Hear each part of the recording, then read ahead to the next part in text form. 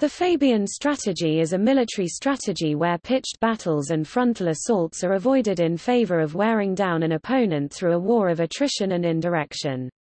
While avoiding decisive battles, the side employing this strategy harasses its enemy through skirmishes to cause attrition, disrupt supply and affect morale. Employment of this strategy implies that the side adopting this strategy believes time is on its side, but it may also be adopted when no feasible alternative strategy can be devised.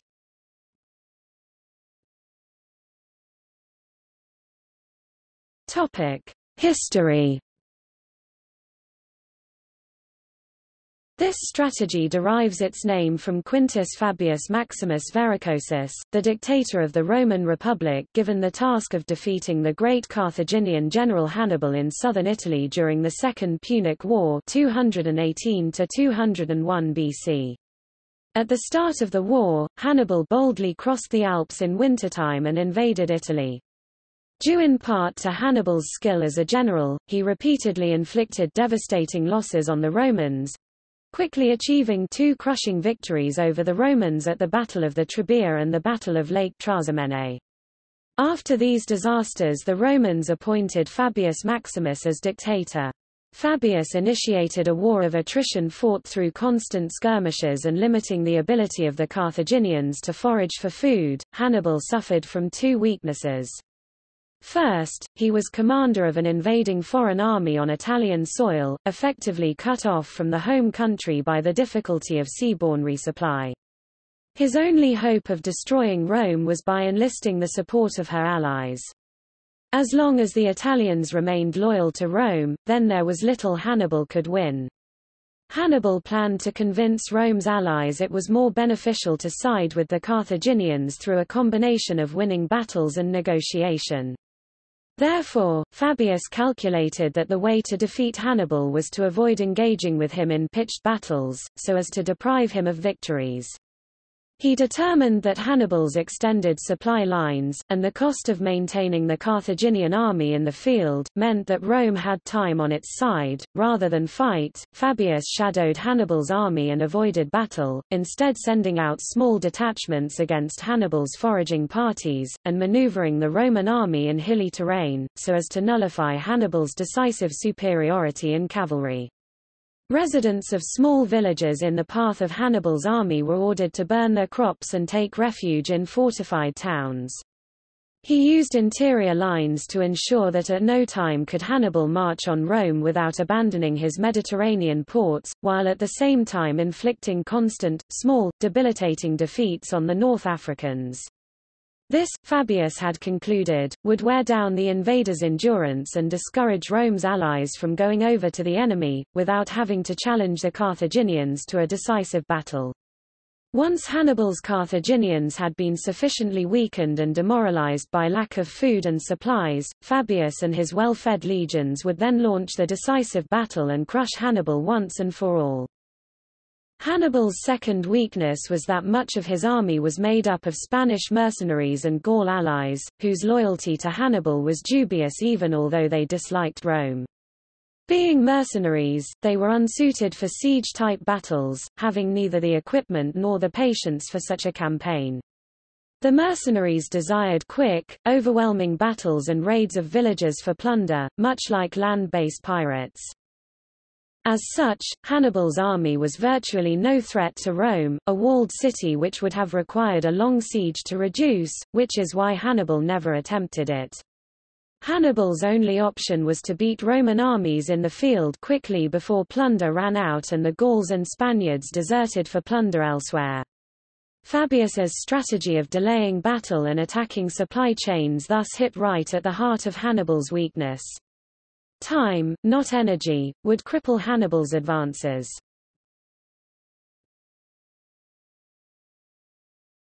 Topic: Political opposition. Fabius's strategy, though a military success, was a political failure. His indirect policies, while tolerable among wiser minds in the Roman Senate, were deemed unpopular, because the Romans had been long accustomed to facing and besting their enemies directly in the field of battle. The Fabian strategy was, in part, ruined because of a lack of unity in the command of the Roman army. The Magister Equitum, Marcus Minucius Rufus, a political enemy of Fabius, is famously quoted exclaiming, Are we come here to see our allies butchered, and their property burned, as a spectacle to be enjoyed? And if we are not moved with shame on account of any others, are we not on account of these citizens? which now not the neighboring Samnite wastes with fire, but a Carthaginian foreigner, who has advanced even this far from the remotest limits of the world, through our dilatoriness and inactivity. As the memory of the shock of Hannibal's victories grew dimmer, the Roman populace gradually started to question the wisdom of the Fabian strategy, the very thing which had allowed them the time to recover. It was especially frustrating to the mass of the people, who were eager to see a quick conclusion to the war.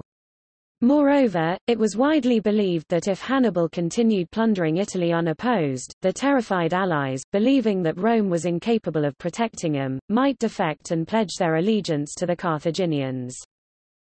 Since Fabius won no large-scale victories, the Roman Senate removed him from command. Their chosen replacement, Gaius Terentius Varro, led the Roman army into a debacle at the Battle of Cannae. The Romans, after experiencing this catastrophic defeat and losing countless other battles, had at this point learned their lesson. They utilized the strategies Fabius had taught them, and which, they finally realized, were the only feasible means of driving Hannibal from Italy. This strategy of attrition earned Fabius the cognomen, Cunctator, the delayer.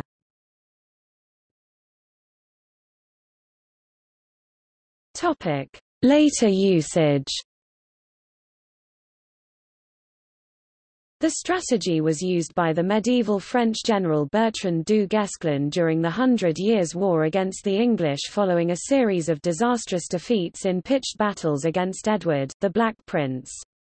Eventually du Guesclin was able to recover most of the territory that had been lost.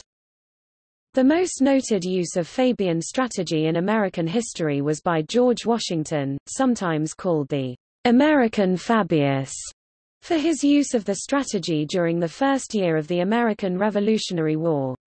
While Washington had initially pushed for traditional direct engagements and victories, he was convinced of the merits of using his army to harass the British rather than engage them both by the urging of his generals in his councils of war, and by the pitched battle disasters of 1776, especially the Battle of Long Island. In addition, with a history as a colonial officer and having witnessed Indian warfare, Washington predicted this style would aid in defeating the traditional battle styles of the British Army. However, as with the original Fabius, Fabian strategy is often more popular in retrospect than at the time. To the troops, it can seem like a cowardly and demoralizing policy of continual retreat. Fabian strategy is sometimes combined with scorched earth tactics that demand sacrifice from civilian populations. Fabian leaders may be perceived as giving up territory without a fight, and since Fabian strategies promise extended war rather than quick victories, they can wear down the will of one's own side as well as the enemy. During the American Revolution, John Adams' dissatisfaction with Washington's conduct of the war led him to declare, I am sick of Fabian systems in all quarters. Later in history, Fabian strategy would be employed all over the world. Used against Napoleon's Grande Armée, the Fabian strategy proved to be decisive in the defense of Russia. Sam Houston effectively employed a Fabian defense in the aftermath of the Battle of the Alamo, using delaying tactics and small unit harrying against Santa Anna's much larger force, to give time for the Army of Texas to grow into a viable fighting force. When he finally met Santa Anna on the fields of San Jacinto, Houston chose the time for attack equally well, launching his forces while the Mexican army was lounging in siesta. The resulting victory ensured the establishment of the Republic of Texas. With the victory at San Jacinto, Houston's detractors were able to see the validity of his delaying tactics. During the First World War in German East Africa, General Paul von Lettow-Vorbeck and General Jan Smuts both used the Fabian strategy in their campaigns. During the First Indochina War, the Vietnamese independentists used the Fabian strategy by utilizing delaying and hit-and-run tactics and scorched earth strategy against the better-equipped French forces, which prolonged the war but later made both the French High Command and Home Front weary against it, much worsened by the eventual Vietnamese Vietnamese victory at Dien Bien Phu.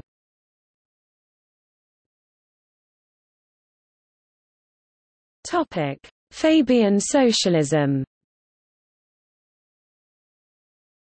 Fabian socialism, the ideology of the Fabian Society founded in 1884, significantly influenced the Labour Party in the United Kingdom.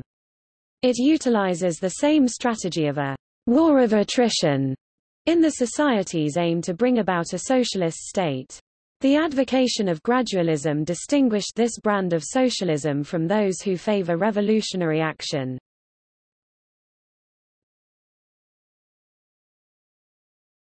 Topic. See also The Art of War Battle of Annihilation Fleet in Being Guerrilla warfare